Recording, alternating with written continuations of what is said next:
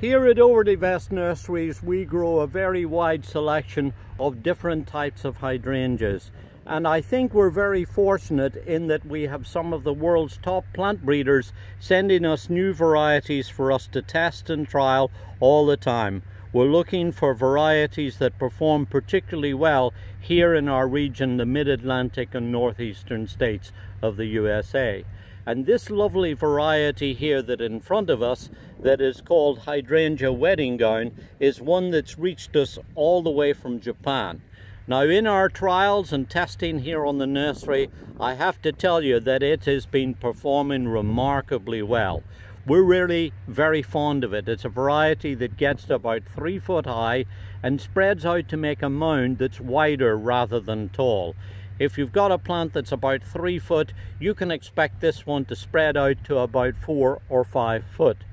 And as you see now in summertime, it's producing lots and lots of buds. They start out first with these tight green little buds that then gradually as they develop you'll see that they start to turn into more of a lace cap type flower that has this flat inflorescence and around the extremities of the flower you'll see that it's covered with lots of these little double florets that go around the whole part of the flower head.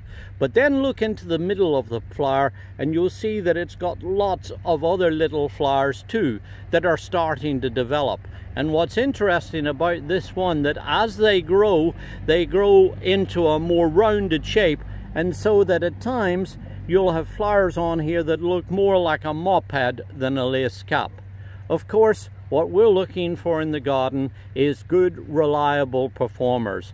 And we found in our trials that this is a really good, strong growing, hardy variety that flowers on both new wood and older wood. Now, like other hydrangeas, it's important that you plant them in free draining soil.